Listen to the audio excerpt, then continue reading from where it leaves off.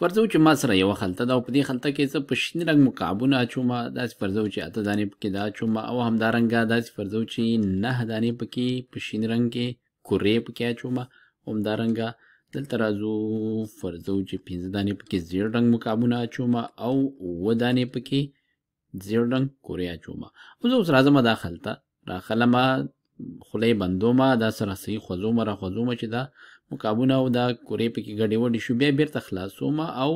خوشې کوم نو ګورم چې لومړی دانه چې ترې نه غورځېږي هغه به څه شی وي او د کوم رنګ به وي نو راځو مونږ ګورو چې په داسې حالت کې د مختلفو شیانو د راغورځېدلو احتمالات څه شي څه شي موږ ته په لاس راځي د بیلګې په ډول راځو لومړی دا ګورو چې د یو مکعب د راغورځېدلو احتمال پکې څومره دی چې په اول ځل موږ ته مکعب راوغورځېږي د مکعب احتمال نو د مکعب احتمال به داسې لاس راوړو مکعب چې د هر رنګ وي دلته اوس موږ په کار دی دې لپاره یوه طریقه دا چې موږ راځو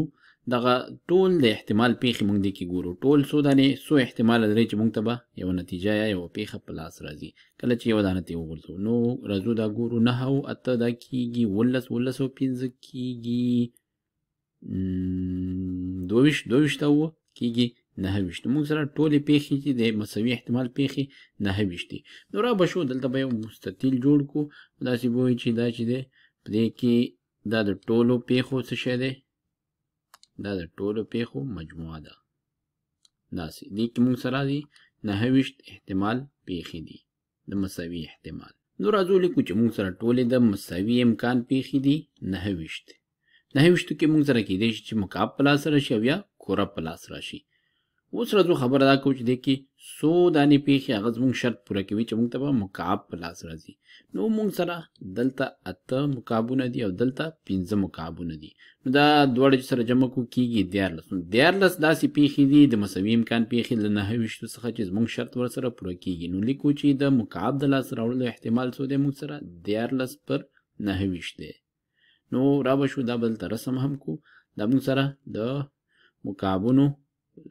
ټول مکعبونو مجموعه ده چې دیارلس دانې دي دا موږ په مقیاس نه رسمو همداسې په اټکل باندې رسمو نو دا دیارلس چې دي دا پکې څه شی دي مکعبونه نو دیارلس پر نهه ویشت د دې احتمال شو اوس راځو ګورو چې د دې احتمال څومره دی چې موږ ته به زیړ رنګ یو شی په لاس راځي یلو یعنی زیړ وای به ورته ولیکو د دې احتمال به څومره وي نو راځو یو ځل بیا ګورو چې موږ سره د مساوي احتمال ټولې څو پایلې دي څو پیښې دي نه ویشت دي نه ویشت پیښې داسې دي چې د کې پیښېدی شي او په دې کې د زیړ رنګ والا احتمال څومره دی نو زیړ رنګ کې چې ټولې پنځه دانې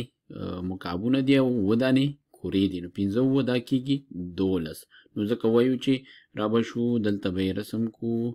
د دې دپاره زیړ رنګ دپاره یو سیټ پکې رسمو دلته د زیړ رنګ سیټ دا سیرس مو لیکو چې دا د څه شي دي دولس دانې د زیړ رنګ شیونه په دې کې موږ سره پراته دي نو دغه دولس چې دي موږ ته دا شرط پوره کوي نو د دې احتمال چې موږ ته به یو یو دانه چې موږ راوباسو هغه به زیړ رنګ کې وي د هغې احتمال دی دولس پر نهه ویشت یعنې دولس په ټولو مساوي احتمال پېښو باندې راځو دا وایو چې د زیړ رنګ مکعب د راتلو احتمال به څومره وي زیړ رنګ نو د دې احتمال به مونږ بیا په همدې شکل باندې محاسبه کوو پوهیږو چې دلته ټولې نهه ویشت د مساوي احتمال پېښې دي نو لیکو چې په نهه ویشتو کې څو دانې زیړ رنګ مکعب مکعبونه مونږ سره لرو مونږ سره پنځه دانې دي نو راځو لیکو چې دا مساوي کېږي پنځه پر نهه ویشت دا د زیړ مکعب د راوتلو احتمال دی خو اوس راځو دا ګور چې دا به په دغه وین ډیاګرام کې چې کوم دلته موږ رسم کړی دی دې کې به دغه احتمال کم ځای کې وي نو دغه وین ډیاګرام موږ ته ډېر په اسانۍ سره احتمالات راخې په ځانګړي توګه دا ډېر په زړه پورې کیږي کله چې دغه سیټونه یو بل سره څنګه شي تقاطع وکړي او یا تقاطع ونه کړي نو دلته موږ هغه شیانو خبره کوو چې زیړ رنګ کې وي کوم چې په دې سیټ کې شامل دي او چې مکعبونه وي کوم چې په دې سیټ کې شامل دي نو دا چې هم زیړ دي او هم مکعبونه دي هغه به د دوی دواړو د تقاطع ساحه وي دغه ساحه کې دغه پنځه واړه مکعبونه به پراته وي نو راځو دا به زه ورته ولیکم چې دغه ساحه کې چې دی پنځه دانې په زیړ رنګ کې دا مکعبونه دي نو پنځه به ولیکو او زیړ رنګ مکعب به ورته رسم کړو چې خبره ختمه شي داسې پنځه دانې زیړ رنګ مکعبونه دې ځای کې پراته دي اوس راځ ووایو چې د دې احتمال به څومره وي چې موږ یو دانه ترې نه راخطا کو او هغه یا زیړ رنګ وي هر شی چې وي یا زیړ رنګ کې وي او یا مکعب وي په هر رنګ چې په هر رنګ کې چې وي یو مکعب وي او یا زیړ رنګ یو شی وي نو د دې احتمال به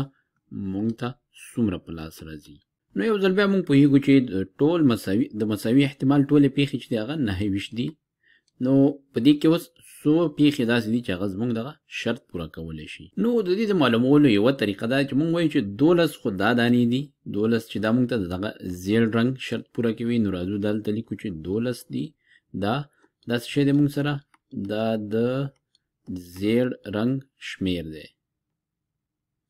د زیړ رنګ یلو د یلو شمیر دی دا مونږ سره دا خو مونږ سره دا برخه پوره کوي خو اوس دې سره مونږ دغه دیارلس د مکعبونو شمیر ورسره نشو جمع کولی ځکه له دې دیارلس څخه پنځه چې دی دلته مونږ یو ځلې په دغه دولس کې حساب کړل کوم چې دغه مکعبونه په دې زیړ رنګ کې هم شامل وو دا موږ داسې هم ویلی شو چې موږ سره اووه زیړ شیونه داسې دي چې هغه موږ سره مکعب نه دي بلکې کورې دي همدارنګه پنځه زیړ شیونه چې دي هغه موږ سره مکعبونه دي او اته دانې مکعبونه موږ سره داسې دي چې هغه په زیړ رنګ کې نه دي نو کله چې موږ دغه دولس دلته ولیکل نو دې کې دا ټوله برخه موږ ولیکل نو اوس موږ دا دیارلس مستقیما دې سره نشو لیکلی ځکه په که چیرې دا دیارلس پکې ولیکو نو بیا به دا پنځه موږ دوه ځلې پکې حساب کړي وي نو معنا دا چې اوس به موږ داسې کوو چې دې سره به لیکو جمع دیارلس دا دیارلس خپله څه شی دی دا دیارلس چې دی دا د مکعبونو شمیر دی موږ سره دلته دا شو د مکعبونو شمیر او له دې څخه به دغه منځنۍ برخه دا ترې نه څنګه کوو منفي کوو راځو دلته لیکو چې منفي پنځه او دا پنځه مونږ سره څه شی دی دا پنځه چې دی دا دی د د ژیړ رنګ د ژیړ رنګ مکعبونه را به شو د دې حساب به تر سره کو دا مساوي کېږي دولس او دیارلس پنځه یشت منفي پنځه دا شو شل پر نهه ویشت شل پر نهه ویشت د دې احتمال په لاس راغی اوس راځو همدا احتمال موږ راخلو او دغه مخکینی احتمالونه چې په دې ویډیو کې موږ لاس راول د هغوی له جنسه بیا لیکو نو دا موږ داسې لیکو چې دولس پر نهه ویشت جمع دیارلس پر نهه ویشت او منفي پنځه پر نهه ویشت نو دا و د څه شي احتمال دا و د زیړ رنګ احتمال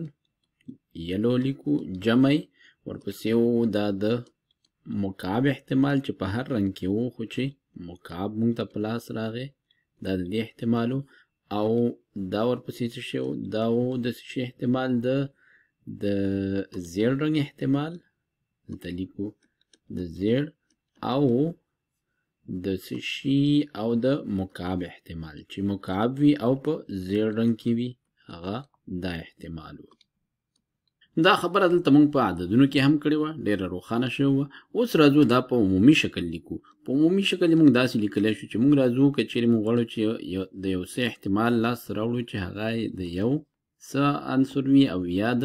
بل څه عنصر وي یو یو یو شی راخلو چې یا د A سیټ عنصر وي یا د B سیټ عنصر وي د دې احتمال چې موږ لاس راوړو دا مساوي کیږي د A سیټ عنصر احتمال جمع د B د سیټ عنصر احتمال منفي د څه شي احتمال منفي د د A او B د دواړو د A او B د دواړو د سیټونو د عنصر احتمال سره او دا ډیره ګټوره پایله موږ ته په لاس راغله کله کله دې ته موږ وایو د احتمالاتو د جمع قانون او دا خبره ډیره ساده هم ده ځکه موږ موږ ځکه د یوازې دا دوړه سره نه جمع کوو ځکه کېدای شي کله کله د دوړو کې یو څه شی نه مشترک وینو ځکه هغه د مشترک والا احتمال چې دی هغه ترې نه منفي کوو تر څو موږ هغه څه چې دوه دوه ځلې پکې حسابېږي هغه ترې نه حساب نه وباسو لکه وباسو لکه دلته چې موږ په دې شکل کې ولیدل چې کوم چې تیر او بیر راتلل تیر او بیر ساحه کې هغه راتله هغه موږ ترنه منفي کول راځو د یو بل حالت خبره کوو دا ځل داسې وایو چې کیدای شي موږ سره د دې امکان هم وي چې لسره تیر او بیر برخه پکې رانه شي مثلا دا د ټولو مساوي امکان پیښو سیټ دی او دې کې دا یو سیټ دی دې کې